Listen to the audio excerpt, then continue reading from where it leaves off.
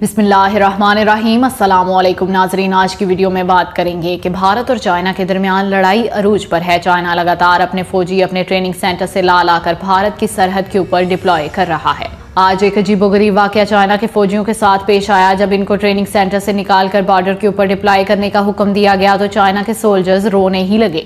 नाजरीन, भारत और Taiwan China की फौज की यह हरकत देखकर काफ़ी खुश हो रहे हैं और चाइना को कह रहे हैं कि ये है वो फौज जो भारत या फिर ताइवान के साथ लड़ेगी। नाजरीन, असल वाक्य क्या है? क्यों चाइना के सोल्जर्स रोने लग गए? आज की इस वीडियो में डिटेल के साथ आपको बताएँगे। छोटी सी गुजारिश है कि वीडियो को लास्ट तक देखें और हमारे चैनल अरब न्यूज़ टीवी को सब्सक्राइब करें।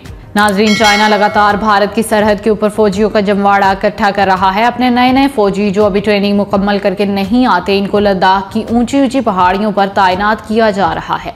नाजरीन, इतलात ये है कि चाइना का एक ट्रेनिंग सेंटर जिसका नाम हुबे है, जबकि इसके रुकरूट्स को, यानी कि वहाँ के सोल्जर जो ट्रेनिंग हासिल कर रहे हैं, इनको लद्दाख भेजने का फैसला किया गया। तो ये हुक्म सुनकर चाइना की पीएलए के वो रुकरूट्स जो ट्रेनिंग हासिल कर रहे थे, उन्होंने रोना शुरू कर दिया। इतलात अब यह है कि जैसे ही उनको रेलवे स्टेशन की तरफ़ लेकर जाया गया ताकि वो लद्दाख की जाने बढ़ सके तो रस्ते के अंदर बस में मौजूद तमाम के तमाम सोल्जर्स रो पड़े। और रोते रोते एक स्लोगन भी अपने मुँह से पढ़ रहे थे। नाजरीन, आपको बताते चले कि चाइना और भारत लगातार अपनी फौज को बॉर्डर के ऊपर लाकर खड़ा कर रहे हैं। और रोते रोते वो एक स्लोगन भी अपने मुँह से पढ़ रहे थे। नाजरीन, यहाँ आपको बताते चले कि चाइना और भारत लगातार अपनी फौज को बॉर्डर के ऊपर लाकर खड़ा कर रहे हैं ताकि सर्दियों के आते आते दोनों ममालक फैसला कर पाए।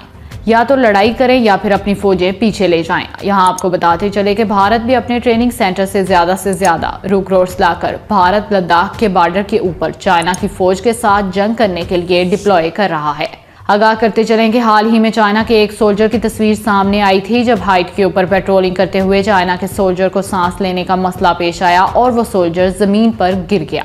आपको यहाँ बताते चले कि लद्दाख की जो हाइट है, सतह समुंदर से वो 16 से सत्रह हज़ार फिट के ऊपर है। वहाँ पर सांस लेना वाकई ही में मुश्किल है। आगाह करते चले कि लद्दाख के ऊपर बेशक चाइना और भारत अपनी अपनी फौजों को ताकतवर बनाने में जुटे हुए हैं, लेकिन असल इम्तहान इन फौजों का तब शुरू होता है जब हाइट के ऊपर इन्होंने सांस लेने वाली बीमारियों से लड़ना है, जब इन्होंने सर्दी से लड़ना है।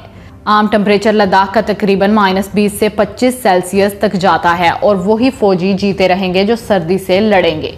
नाजरीन, जो फौजी सांस वाले इश्यूज़ को ओवरकम करके वहाँ रहेंगे, वो ही ज़िंदा रहेंगे। वरना जितने मर्ज़ी दोनों फौजें अपनी अफवाज को, अपने ममालक को ताकतवर बनाने के लिए मजाइले खरीदते रहें वेपन लाकर डिप्लॉय करते रहें, इससे कुछ नहीं होने वाला।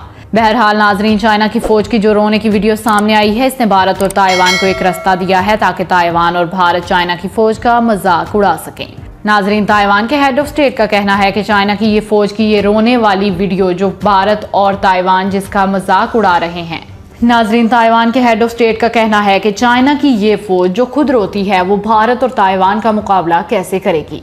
वो ऐसा कभी भी नहीं कर पाएगी? तो ये थी नाजरीन, आज की पूरी वीडियो। इस हवाले से अब आप क्या कहते हैं? कमेंट सेक्शन में अपनी राय का इजहार ज़रूर कीजिएगा। अब तक के लिए इतना ही। जजाकल्ला